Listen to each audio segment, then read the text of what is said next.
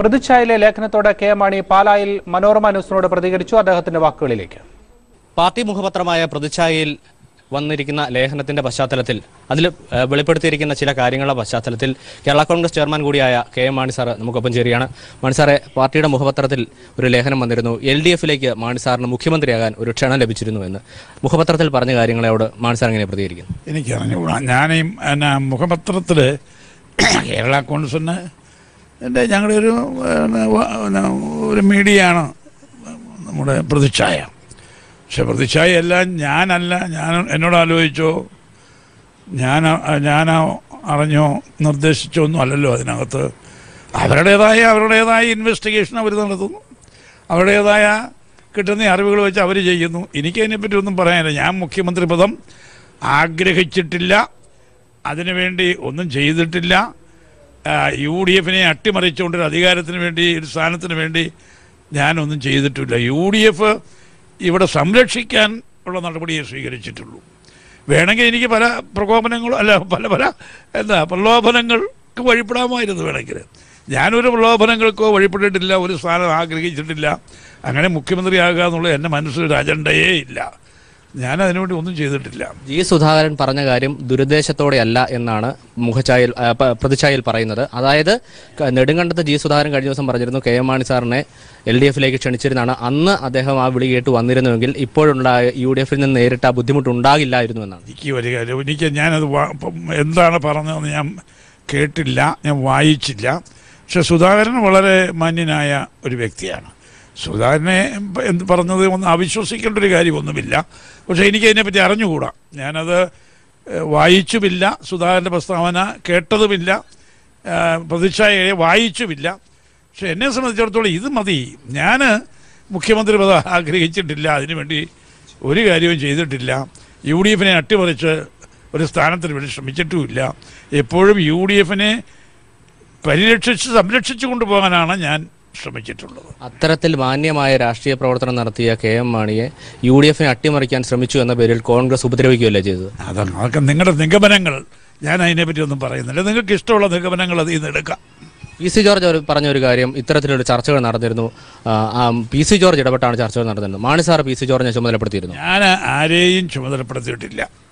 പാർട്ടിയിൽ ഞാൻ ആരെയും ചുമതലപ്പെടുത്തിയിട്ടില്ല.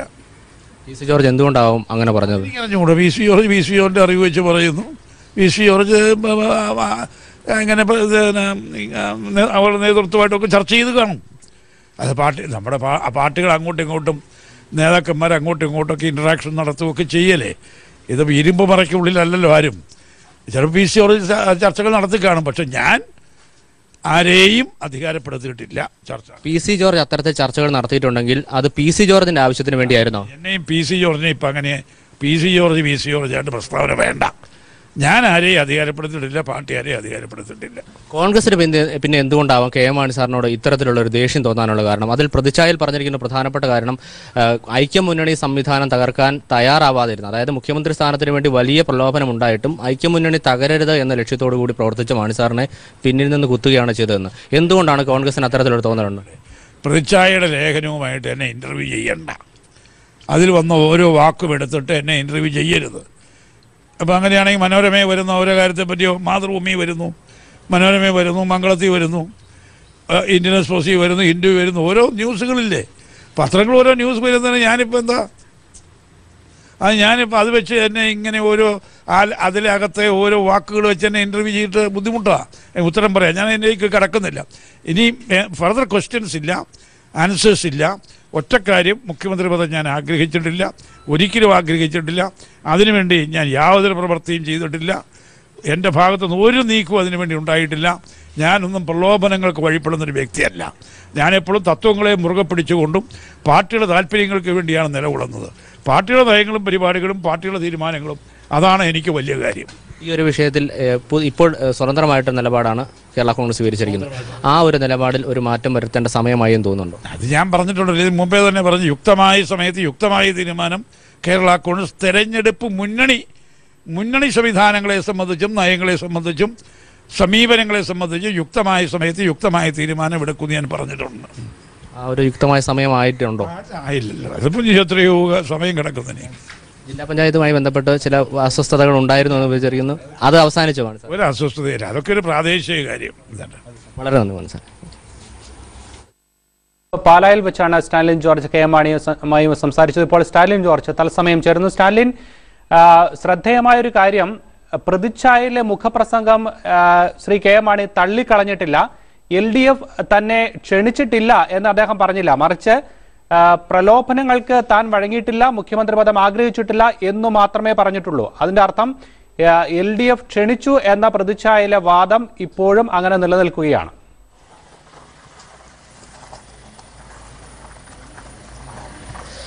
തീർച്ചയായും പ്രജി അത് തന്നെയാണ്. അതായത് ഏറ്റവും പ്രധാനപ്പെട്ട കാര്യം പ്രതിച്ഛായ എന്ന് പറയുന്നത് പാർട്ടി മുഖപത്രമാണ്. അതുകൊണ്ട് തന്നെ അതുകൊണ്ട് മാത്രം പാർട്ടി നേതൃത്വത്തിന്റെ അറിവോടെയാണ് അതിലെല്ലാം വരുന്നത് എന്ന് പറയാൻ കഴിയില്ല എന്ന് കെ എം മാണി പറയുമ്പോഴും.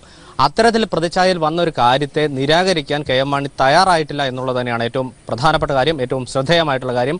അവരവരുടെ അന്വേഷണാത്മക റിപ്പോർട്ടാണ് പ്രസിദ്ധീകരിച്ചത് എന്നും കെ എം മാണി അതിനൊപ്പം തന്നെ പറഞ്ഞു വയ്ക്കുന്നു ആ കാര്യങ്ങളിൽ നിന്ന് നമുക്ക് വ്യക്തമാവുന്ന ഒരു കാര്യം ഈ ഒരു വിഷയത്തിൽ എൽ ഡി എഫ് ഇത്തരത്തിലൊരു നീക്കം നടത്തിയിരുന്നു എന്നുള്ളത് തന്നെയാണ്. അതേസമയം അതിനൊപ്പം തന്നെ ഏറ്റവും പ്രധാനപ്പെട്ട ഒരു കാര്യം ഇത്തരത്തിലുള്ള ഒരു ചർച്ചയ്ക്ക് താൻ മുൻകൈ എടുത്തിരുന്നില്ല.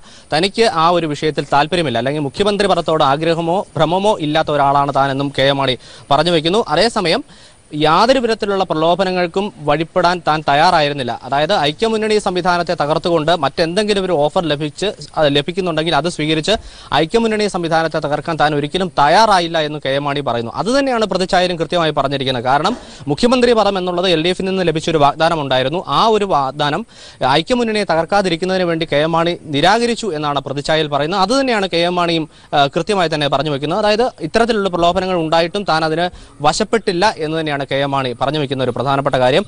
അതിനൊപ്പം തന്നെ ഒരു മറ്റൊരു പ്രധാനപ്പെട്ട കാര്യം പി സി ജോർജിന്റെ വിഷയമാണ്. അതായത് പി സി ജോർജ് അദ്ദേഹത്തിന്റെ പ്രസ്താവനകളിൽ പറഞ്ഞിരുന്നത് പി സി ജോർജിനെയാണ് ഇത്തരത്തിൽ ചർച്ചകൾക്ക് കെ എം മാണി ചുമതലപ്പെടുത്തിയിരുന്നത്. അല്ലെങ്കിൽ കെ എം മാണിയുടെ ആവശ്യപ്രകാരമാണ് താൻ ഇത്തരത്തിലുള്ള ചർച്ചകൾ നടത്തിയത് എന്നാണ്. അതിനെ കെ എം മാണി പൂർണമായും തള്ളിക്കളയുകയാണ്. അതായത് ഇത്തരത്തിൽ ഒരു ചർച്ചകൾ നടത്തുന്നതിനോ അല്ലെങ്കിൽ ആവശ്യങ്ങൾക്കോ വേണ്ടി താൻ ആരെയും പാർട്ടിയിൽ ചുമതലപ്പെടുത്തിയിട്ടില്ല. താൻ അങ്ങനെ ഒരു ചർച്ചയ്ക്ക് ആരെയും മുൻകൈ എടുക്കുന്നതിന് വേണ്ടി ആരോടും നിർദ്ദേശം നൽകിയിരുന്നില്ല എന്നും കെ എം മാണി പറയുന്നുണ്ട്. പി സി ജോർജ് സ്വന്തം നിലയ്ക്ക് ചിലപ്പോൾ പലരുമായി ചർച്ചകൾ നടത്തിയിട്ടുണ്ടാകും. ചർച്ചകൾ എന്ന് പറയുന്നത് ഒരു ഇരുമ്പ് മറയ്ക്കുള്ളിൽ ഉള്ള ഒരു കാര്യമല്ല. അതുകൊണ്ട് ചർച്ചകൾ അദ്ദേഹത്തിന്റെതായ രീതിയിൽ നടന്നിട്ടുണ്ടാകാം പക്ഷേ താൻ ഒരിക്കലും ആരെയും മുൻകൈ എടുത്ത് അല്ലെങ്കിൽ ആർക്കും ഇത് സംബന്ധിച്ച് ഒരു നിർദ്ദേശം നൽകിയിരുന്നില്ല എന്ന് കെ എം മാണി വ്യക്തമായി തന്നെ പറയുന്നുണ്ട്. ഏതായാലും ഈ ഒരു മണിക്കൂർ നമുക്ക് പറയാൻ കഴിയുന്ന ഏറ്റവും പ്രധാനപ്പെട്ട കാര്യം പ്രതിച്ഛായയുമായി ബന്ധപ്പെട്ട് അല്ലെങ്കിൽ പ്രതിച്ഛായയിൽ വന്ന ഈ ഒരു വാർത്തയെ നിരാകരിക്കാൻ കെ എം മാണി തയ്യാറായിട്ടില്ല. അതേസമയം തന്റെ അറിവോടെയല്ല താൻ ഇത്തരത്തിലുള്ള ഒരു ചർച്ചകൾ നടന്നിട്ടില്ല എന്നും കെ എം മാണി പറയുന്നുണ്ട്. ഏതായാലും എൽ ഡി എഫിൽ നിന്ന് ഇത്തരത്തിലുള്ള ഒരു ഓഫർ ലഭിച്ചിരുന്നു അല്ലെങ്കിൽ വന്നിരുന്നു എന്നുള്ള കാര്യത്തിൽ യാതൊരു സംശയമില്ല പക്ഷേ കെ എം മാണി ഐക്യമുന്നണി സംവിധാനം തകരേണ്ടതില്ല അല്ലെങ്കിൽ തകർക്കേണ്ടതില്ല എന്നുള്ള ഒരൊറ്റ കാരണത്താൽ മാത്രമാണ് അത് നിരാകരിച്ചത് എന്ന് തന്നെയാണ് നമുക്ക് ഈ നിമിഷത്തിൽ പറയാൻ കഴിയുക. സ്റ്റാലിൻ അങ്ങനെയെങ്കിൽ ഈ കോട്ടയം ജില്ലാ പഞ്ചായത്തിലെ സഹകരണത്തിന്റെ ഒരു പശ്ചാത്തലം അടുത്തിടെ ജി സുധാകരൻ ഈ കെ മാണിയുമായി ബന്ധപ്പെട്ട് നടത്തിയ പ്രസ്താവന ഇതിന്റെ ഒക്കെ പശ്ചാത്തലത്തിലാണ് പ്രതിച്ഛായയിൽ ഇങ്ങനെ ഒരു ലേഖനം വന്നിരിക്കുന്നത്. അത് സ്റ്റാലിൻ നേരത്തെ സൂചിപ്പിച്ചതുപോലെ തന്നെ കെ മാണിയുടെ അറിവോടെയാണോ ഇല്ലയോ എന്നത് പൂർണമായി പറയാൻ കഴിയില്ലെങ്കിൽ പോലും അത് അദ്ദേഹം നിരാകരിക്കാത്ത ഒരു സാഹചര്യം കൂടെ നിലനിൽക്കുന്നു. രാഷ്ട്രീയമായി ഇതുകൊണ്ട് കേരള കോൺഗ്രസ് എന്തായിരിക്കും ഉദ്ദേശിക്കുന്നത്?